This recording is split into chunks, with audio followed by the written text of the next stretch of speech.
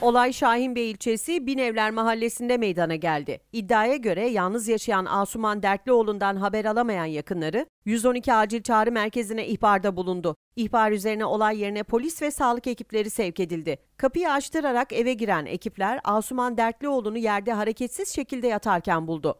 Olay sonrası incelemelerde bulunan Asay Şube Müdürlüğü Cinayet Büro Amirliği ekipleri 3 günlük çalışmayla olayı aydınlattı. Başından darbe aldığı belirlenen kadının öldürülmesi ihtimali üzerine çalışma yapan ekipler İD isimli şahsı gözaltına aldı.